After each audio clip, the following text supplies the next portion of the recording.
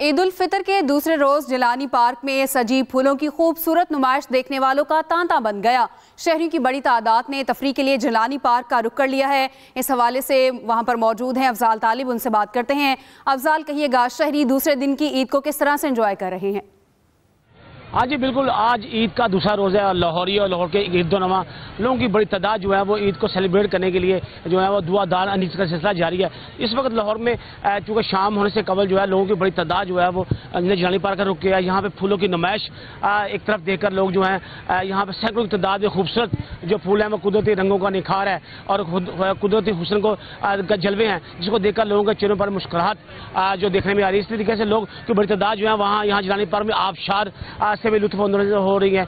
यहाँ बच्चे, बूढ़े, नौजवान खातन की बड़ी तादाद जो है यहाँ पे ईद के दूसरे रोज़ खूब सेलिब्रेट कर रहे हैं। उनका कहना है चूँकि ईद का पहला रोज़ जो होता है, उसमें मेहमान नवाजी और घर में खानादारी में गुजर जाता है तो आज का दूसरा रोज़ जो है वो और सैर तफरी के नाम उन्होंने मनसूब किया। तो इस हवाले से लोगों की बड़ी तादाद जो है, वो यहाँ रुक किया यहाँ पे ना सिर्फ़ तरह तरह के खाने अपने साथ लेके आए हैं, बल्कि यहाँ पे जो लोग बड़ी तादाद यहाँ मौजूद है। यहाँ कंटीनों, कंटीन पर भी मुख्तफ अशिया खाकर भी लुत्फानंदोज रहे हैं। बच्चे झूले लेकर लुत्फानंदोज हो रहे हैं। अब बड़े जो हैं वो बच्चे बच्चे जो हैं वो सेल्फी बनाकर जो ईद को सेलिब्रेट करें उनका कहना है कि चूँकि ईद का जो सीज़न है वो साल के बाद आता है तो इसका कोई भी लम्हा वो ज़ाया नहीं करना चाहती। आज इसका दूसरा रोज़ है और इसी जज्बे को तहत जो है कल भी वो समझते हैं कि ईद का जो तीसरा रोज़ है, इसको खूब तरीके से सेलिब्रेट किया जाएगा।